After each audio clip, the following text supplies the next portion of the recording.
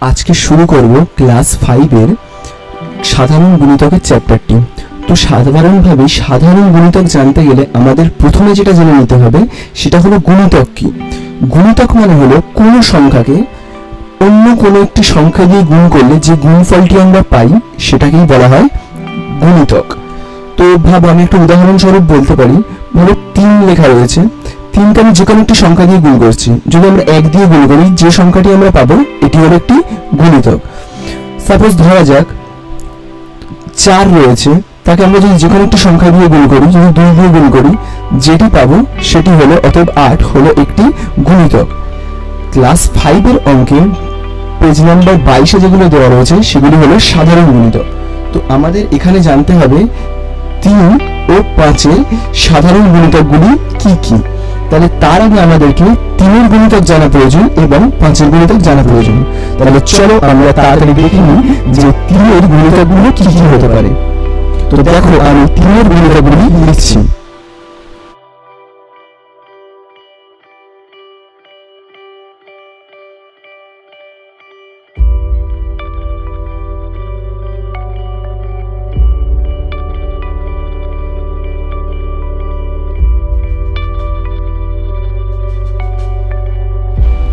তো বন্ধুরা দেখো আমরা লিখে ফেললাম, তিনের গুণিতকগুলি সবকটি লিখে ফেললাম আমরা, অর্থাৎ তিনের নামটাটি পুরো লিখে ফেললাম, এবং আমরা পাঁচের নামটাটি পুরো লিখে ফেললাম। দেখো তোমরা দেখতেই পাচ্ছ, আমরা পুরো তিনের নামটাটিকে লিখে ফেললাম, এবং এখানে পাঁচের গুণিতক, অর্থাৎ পাঁচের নামটাটিকে পুরো লিখে ফেললাম। এবারে আমাদের যেটি কাজ, সেটি হলো এই দুটো নামটা, এই দুটি গুণিতকের মধ্যে থেকে কি কি জিনিস সাধারণ আছে, অর্থাৎ কি কি জিনিস কমন পাচ্ছি কমন কোন কোন সংখ্যাগুলো এই নাম থেকেও রয়েছে, আবার এই নাম থেকেও রয়েছে, সেগুলি আমরা এবার খুঁজে বের করব।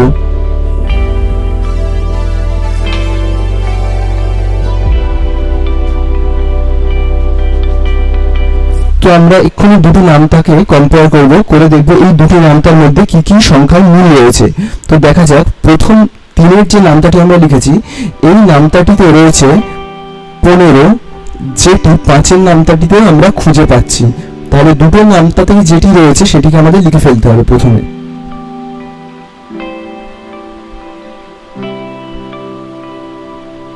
এরপর দেখব আমরা পরে আর কি কি সাধারণ সংখ্যা রয়েছে দুটি নামতাতেই তো তোমরা দেখতে পাচ্ছ, তিনের নামটাতে রয়েছে তিরিশ।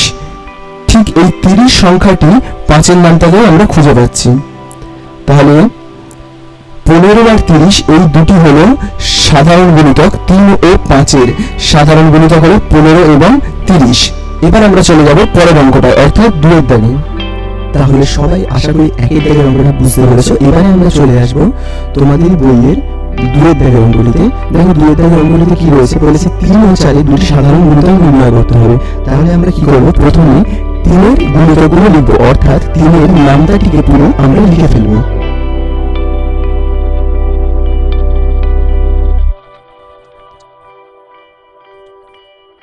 তিনের গুণিতক যেহেতু লেখা হয়ে গেল, এবারে আমরা চারের গুণিতকগুলো লিখব। অর্থাৎ আমরা চারের নামতাগুলোকে লিখে ফেলব।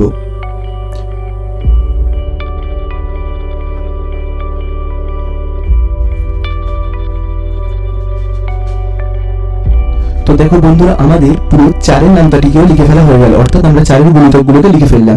এবারে আমরা যেটা করব, এবারে এই যে দুটো নামটা তোমরা দেখতে পাচ্ছ, এই দুটো নামটার ভেতর থেকে এই যে দুটো নামটা আমরা, এই একটা নামটা আমরা লিখলাম, তিনের নামটা, এবং আমরা যে চারের নামটা লিখলাম, এই চারের নামটা থেকে আমরা সাধারণ যে সংখ্যা দুটো আছে, সেগুলোকে আমরা খুঁজে বের করব। মানে অর্থাৎ কমন সংখ্যাটাকে আমরা খুঁজে বের করব।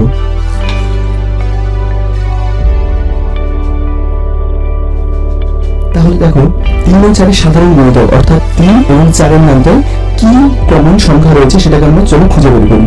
দেখো তিনের নামটাতে রয়েছে বারো, যেটি আমরা চারের নামটাতেও খুঁজে পাচ্ছি। তাহলে আমরা এখানে লিখব তিন ও চারের একটি সাধারণ গুণিতক হবে বারো। দেখি আর কি কি খুঁজে পাওয়া যায় তিন ও চারের নামটা থেকে। তো তোমরা দেখতে পাচ্ছ আরেকটি জিনিস আমরা যেটি খুঁজে পেয়ে গেছি, সেটি হলো চারের নামটাতেও রয়েছে চব্বিশ এবং তিনের নামটাতেও রয়েছে চব্বিশ, যেটি হলো তিন ও চারের একটি সাধারণ গুণিতক। তো দেখো আমরা চব্বিশ লিখে নিলাম। তো বন্ধুরা, এবারে আমরা দুয়ের দাগের অঙ্কটি কমপ্লিট করবার পর এবারে আমরা চলে এসেছি তিনের দাগের অঙ্কটি করবার জন্য। তো তিনের দাগের অঙ্কটিতে দেখো বলেছে চার ও ছয়ের দুটি সাধারণ গুণিতক নির্ণয় করতে বলেছে।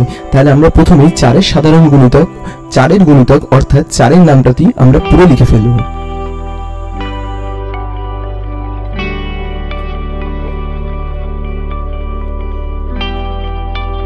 তো তোমরা দেখতে পাচ্ছ, আমি চারের নামটাটি পুরো লিখে ফেললাম, অর্থাৎ চারের গুণিতক আমার পুরো লেখা হয়ে গেল। এইবার আমরা লিখে ফেলব ছয়ের গুণিতক, অর্থাৎ ছয়ের নামটাটি আমরা পুরো লিখে ফেলব।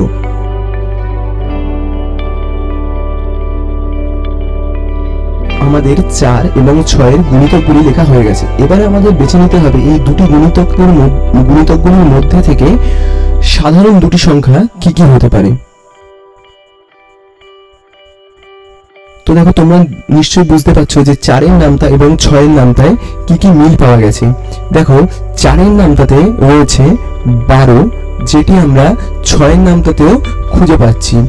এছাড়া চারের নামটাতে পাওয়া গেছে চব্বিশ, যেটিকে আমরা ছয়ের নামটাতেও খুঁজে পেয়েছি। অতএব সাধারণ গুণিতক হবে বারো, যেটি ছয় এবং চার দুজনের নামটাতেই রয়েছে, এবং আমরা লিখব চব্বিশ, যেটি চার এবং ছয় দুজনের নামটাতেই রয়েছে। এখন আমরা চলে এসেছি চারের দাগের অঙ্কটিতে সাধারণ গুণিতক নির্ণয় করতে বলা হয়েছে। এখানে দেখো তোমরা দেখতেই পাচ্ছ এখানে বলে দেওয়া হয়েছে চার চারের দাগের অঙ্কটিতে দশ এবং পনেরোর দুটি সাধারণ গুণিতক নির্ণয় করতে বলা হয়েছে। তাহলে আমরা প্রথমে আগে দশের যে গুণিতকগুলি আছে সেগুলি আগে আমরা নির্ণয় করে ফেলব। তাহলে প্রথমে আমরা লিখে ফেলব দশের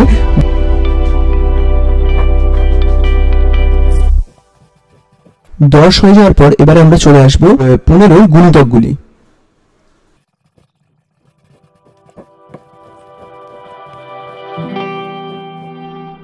তো আমাদের লেখা শেষ হয়ে গেল। দশ ও পনেরো গুণিতকগুলি লেখা আমাদের শেষ হয়ে গেল। এবারে এই দুটি গুণিতক থেকে গুণিতকগুলি এই গুণিতকগুলি থেকে আমরা খুঁজে বের করব সাধারণ গুণিতক কোনগুলি? তো তোমরা দেখতেই পাচ্ছ, দশের নামটাতে রয়েছে তিরিশ, যেটি আমরা পনেরোর নামটাতেও খুঁজে পাচ্ছি। তাহলে তিরিশ হলো হলো, তিরিশ হলো একটি সাধারণ গুণিতক এরপর আমরা যেটা পেয়ে যাচ্ছি, সেটি দশের নামতাতে আমরা পেয়ে যাচ্ছি নব্বই, যেটি আমরা পনেরোর নামতাতেও খুঁজে পাচ্ছি। অর্থাৎ নব্বই হলো একটি সাধারণ গুণিতক, দশ ও পনেরোর এবার আমরা শুরু করব পাঁচের দাগের অঙ্কটি। পাঁচের দাগের অঙ্কটিতে বলা হয়েছে, আট ও ছয়ের দুটি সাধারণ গুণিতক নির্ণয় করতে। তাহলে প্রথমেই আমরা আটের গুণিতকগুলো প্রথমেই নির্ণয় করে ফেলব। অর্থাৎ আমরা আটের নামটাটিকে আগে লিখে ফেলব।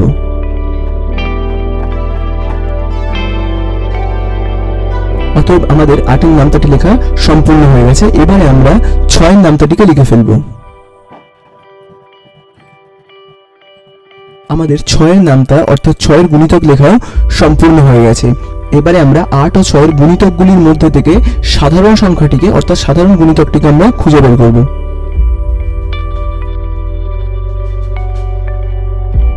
এবারে তোমরা দেখতেই পাচ্ছ আটের নামতা এবং ছয়ের নামতায় কি কি মিল রয়েছে। দেখো, আটের নামটাতে রয়েছে চব্বিশ, যেটা আমরা ছয়ের নামটাতেও খুঁজে পাচ্ছি। তাহলে আমরা সাধারণ গুণিতকে লিখব চব্বিশ আর অপর আরেকটি হলো যেটি আমরা আটের নামটাতে খুঁজে পাচ্ছি, সেটি হলো আটচল্লিশ এবং সেটি আমরা ছয়ের নামটাতেও খুঁজে পাচ্ছি, সেটি হলো আটচল্লিশ। তাহলে আমরা আট ও ছয় সাধারণ মূল্য লিখব আটচল্লিশ।